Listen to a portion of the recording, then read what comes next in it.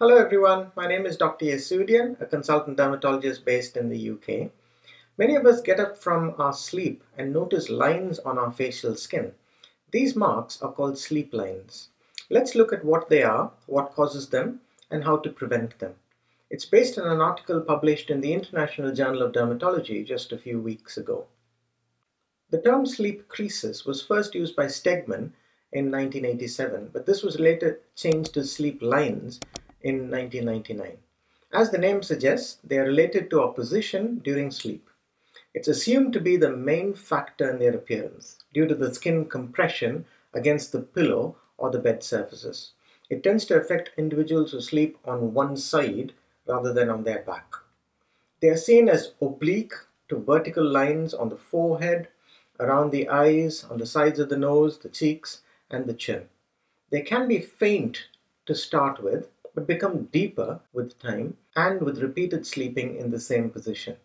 The mechanisms that cause sleep lines may be different from the muscle movements that cause aging and facial expression related folds. This explains the clinical difference in the direction of the lines from facial wrinkles.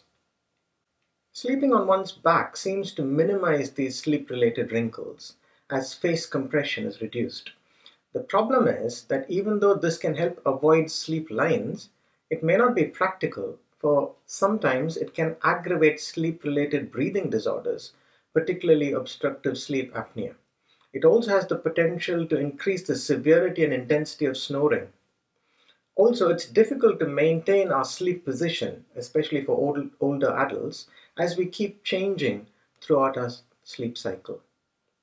There may be other reasons for sleep lines beyond just compressive mechanisms.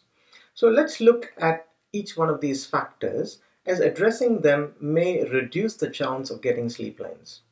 Factor 1. Poor sleep quality. This may contribute to sleep lines not only on the face but also on the body. Increased movement and agitation during sleep may have a greater mechanical impact on the skin, possibly leading to more tissue stretching. This in turn may reduce skin hydration and alter the skin barrier integrity.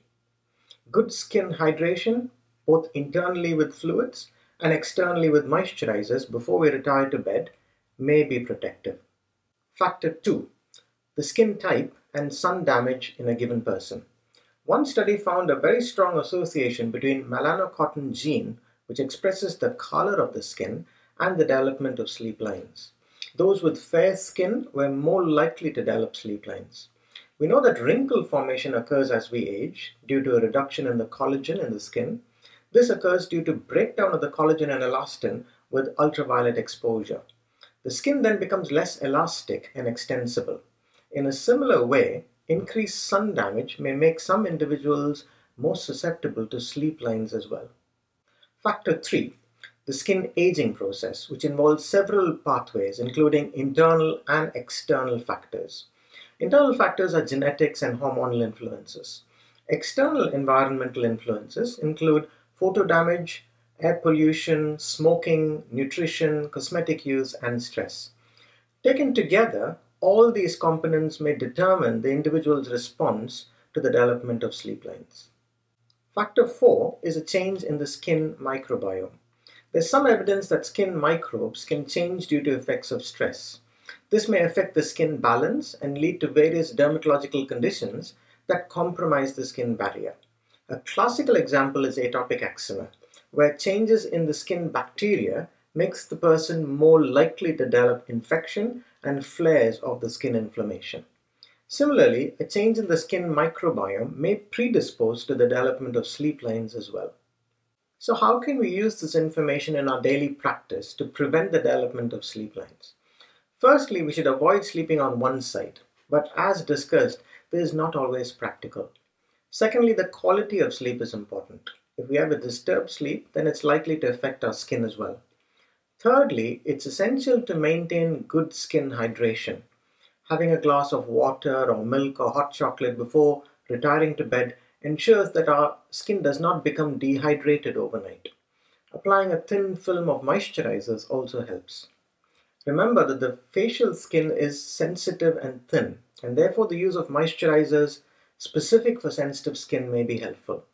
I've discussed the principles of how to treat sensitive facial skin with moisturizers in a video titled Rosacea and the Skin Barrier, so it may be worthwhile looking at that. Finally, we need to try and avoid environmental toxins. Avoid smoking, wash your face when you get back home and remove all the pollutants in the air that may have settled on your facial skin. Ensure that the amount of sun exposure to your facial skin is minimized to reduce photo damage try and optimize cosmetic use as it can irritate the skin if left for excessive periods of time. And finally, make sure that you have good nutrition as this helps our skin to stay young and healthy. This is discussed in another video which I've done previously. In conclusion, sleep lines have a strong association with compression of the skin during our sleep. There are a range of other factors that may affect skin integrity, including aging, genetics, stress, and sleep dysregulation. Addressing each one of these factors is helpful in preventing sleep lines. I hope you found this information helpful. Thank you for listening and bye.